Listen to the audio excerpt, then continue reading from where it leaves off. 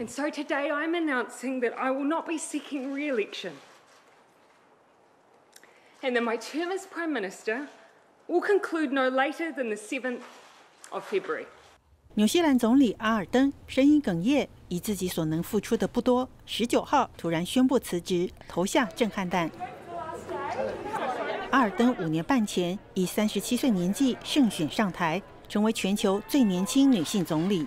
it is an absolute honor and a privilege to have the ability as the leader of the new zealand labor party to form a government for all new zealanders 二零一八年他带着三个月大的女儿妮维现身联合国大会这是联合国史上第一次有婴儿这样出现也是女性平权的展现 obviously, I take very seriously the role of becoming a mum, as does Clark becoming a dad.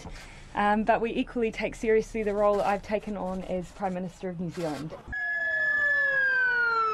二零一九年，基督城清真寺遭到攻击，近百人死伤。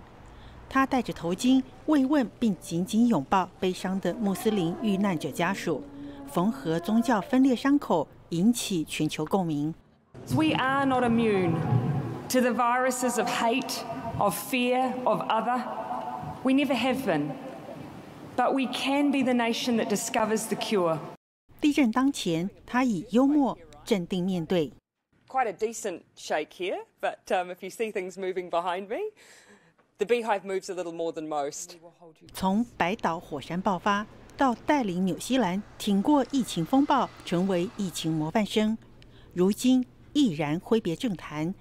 也让许多人很难说再见。